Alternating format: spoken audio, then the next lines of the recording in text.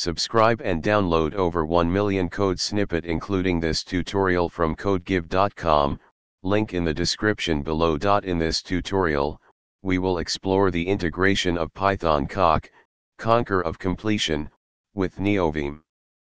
coc is a powerful auto-completion engine for NeoVim that supports various languages, including Python. By integrating Python coc, you can enhance your NeoVim experience with features like intelligent auto-completion, linting, and documentation. Make sure you have the following installed on your system. If you haven't installed NeoVim yet, follow the instructions on the official NeoVim GitHub repository to install it. Next, install a plugin manager for NeoVim. We recommend using vim-plug. Follow the installation instructions on its GitHub page.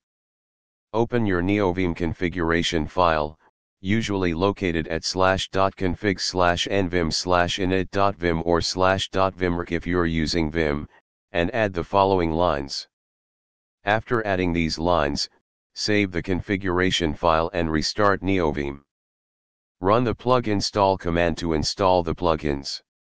To enable coc for Python, you need to install the coc-pyright extension. Open NeoVim and run. This installs the Pyright language server for Python. You can customize coc further by adding additional configuration options to your NeoVim configuration file. For example, you can specify key mappings, enable or disable certain features, and more. Feel free to adjust these settings based on your preferences. You've successfully integrated Python coc with NeoVim. Enjoy improved auto-completion, linting, and other language features as you code in Python.